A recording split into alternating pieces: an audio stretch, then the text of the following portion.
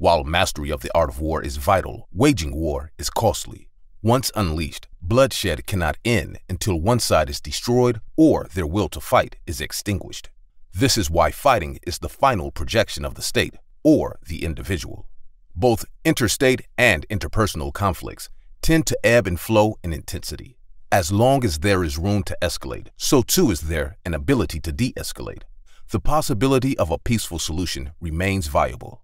The Defense Readiness Condition, DEFCON scale, for instance, has five levels. These status alerts indicate the readiness of the United States military and are adjusted up or down based on world conditions rarely approaching critical levels, save for incidents such as the Cuban Missile Crisis in 1962, which nearly led to nuclear war between the US and USSR, or Iraq's invasion of Kuwait in 1991, which sparked the first Gulf War.